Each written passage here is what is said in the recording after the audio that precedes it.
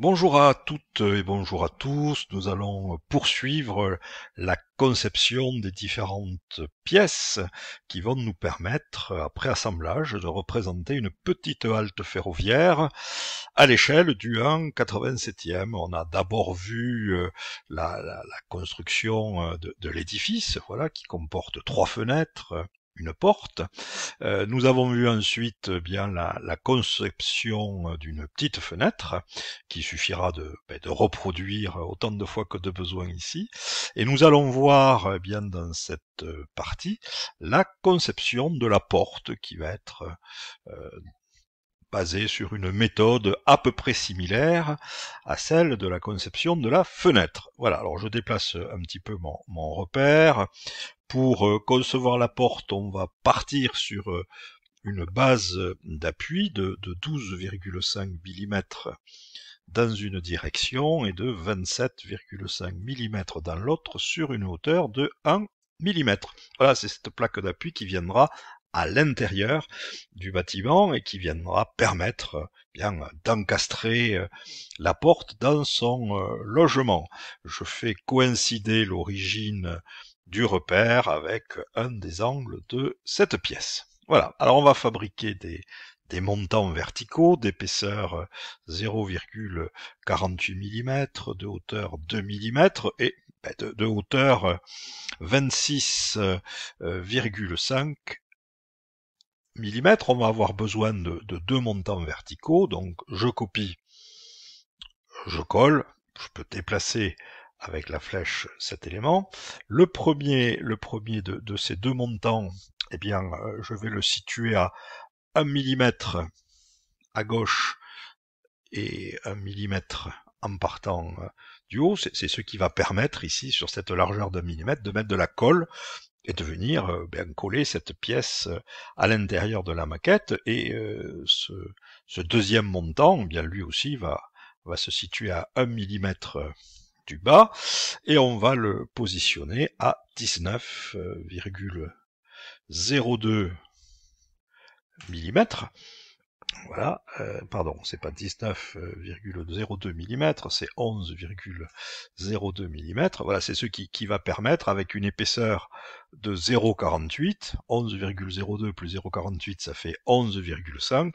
Il nous reste donc 1 mm à droite pour pouvoir mettre euh, de la colle. Et on va enfin fabriquer euh, un troisième montant, voilà, vertical, donc je copie, je colle, alors celui-ci va faire euh, uniquement euh, eh bien une longueur de, de 16,5 mm et va se situer au milieu des, deux montants précédents, soit à une distance de 6,01 mm. Voilà, alors c'est dans cette partie qu'on va voir des, carreaux, ce que vous voyez là c'est le haut de la porte, et ensuite après ben, on va avoir une petite pièce de menuiserie qui va venir se loger ici. Alors passons au, aux montants euh, horizontaux. Voilà. Donc il va y en avoir euh, quatre, puisqu'on veut trois carreaux dans le, sens de la hauteur. Ils vont venir se loger ici. Donc euh, on a une dimension de 10,5 mm. On a une épaisseur de 0,48 mm et on va avoir une hauteur de 2 mm.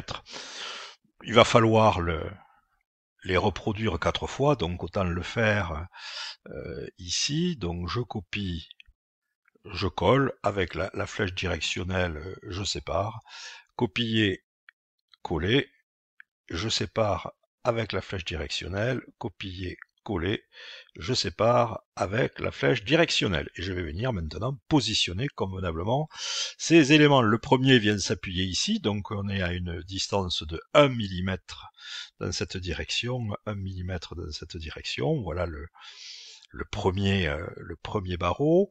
Le deuxième barreau va se situer, ben, lui aussi, euh, en partant de, de, la gauche à 1 mm, comme ses petits camarades. Voilà va se situer eh bien, à, une distance, en partant de l'origine du repère, de 6, pardon, pour ce zoom, de 6,34 mm. Voilà. Le troisième petit barreau va se situer à une distance de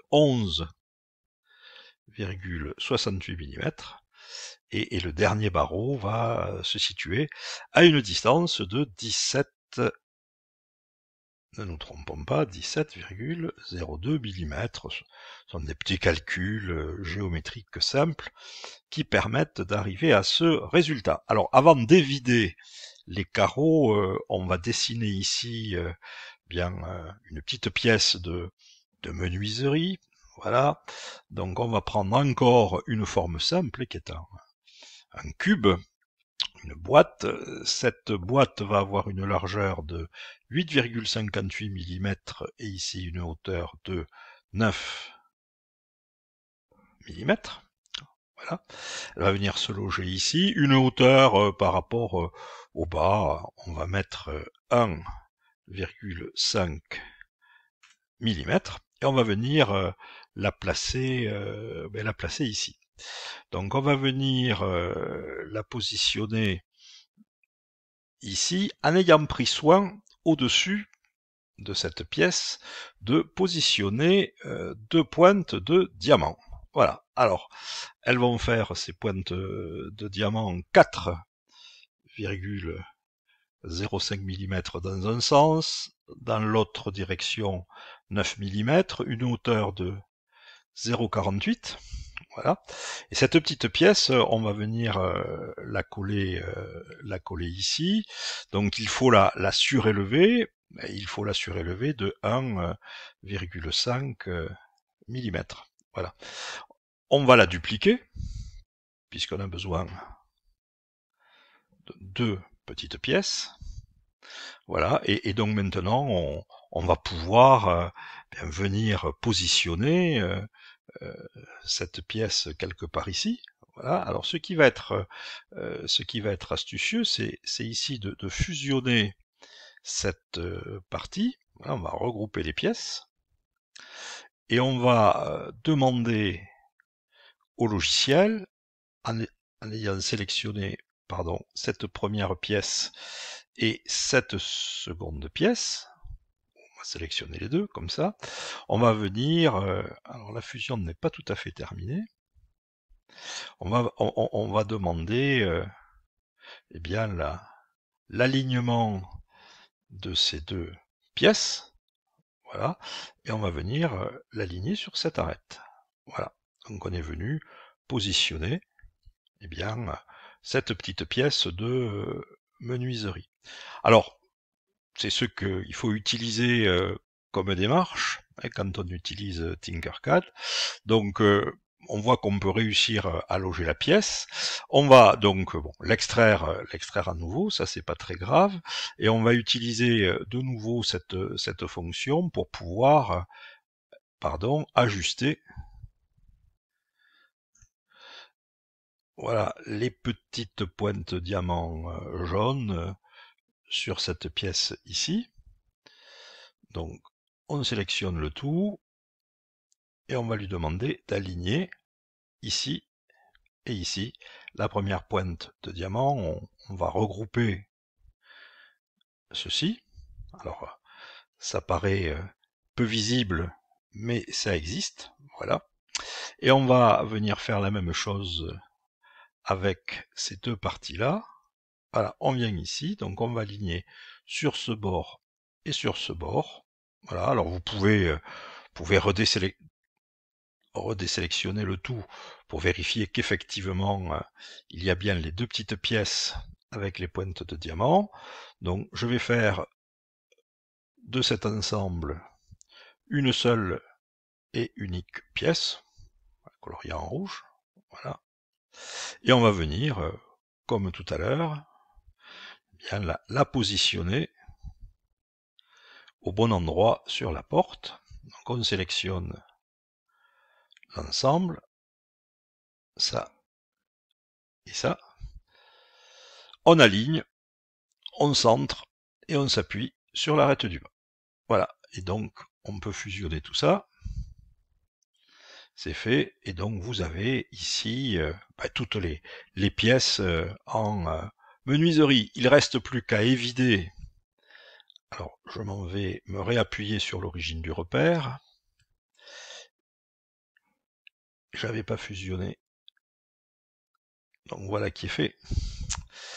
Il reste plus qu'à s'appuyer sur l'origine du repère, 0 dans cette direction, 0 dans cette direction, et puis pour éviter, on, va utiliser une forme simple qui est, qui est une boîte, on va donner euh, ben, la bonne euh, dimension euh, à cette boîte, 4 53 mm et 4,86 dans l'autre direction.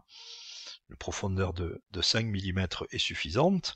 Et le, premier petit carreau, eh bien, on va le positionner à 1,48 mm par rapport à l'axe qui est ici et à 1,48 mm par rapport à l'axe du bas. Faites toujours un essai avant de, dupliquer le, petit carreau pour voir si effectivement bien vous avez bien évidé euh, la porte de la petite euh, halte pour pouvoir positionner un vitrage. Voilà, alors on va refaire apparaître en dissociant les éléments le petit, le petit cube de perçage. On va faire un copier coller vers la droite. Voilà, et donc on va venir positionner euh, euh, ce deuxième élément à 6,49 mm. C'est ce qui, va nous permettre voilà, eh bien de, faire euh, les, deux premiers carreaux. On pouvait vérifier que cela fonctionne. Voilà. Et donc on va reproduire l'opération autant de fois que de besoin. Alors je m'en vais sélectionner ces deux carreaux, je m'en vais les regrouper. Les ayant regroupés, je copie et je colle. Voilà. Et je vais venir faire ça ben, une fois de plus, puisque j'ai trois rangées de carreaux à réaliser. Voilà, alors ces rangées de carreaux vont s'appuyer à gauche à une distance de 1,48 mm.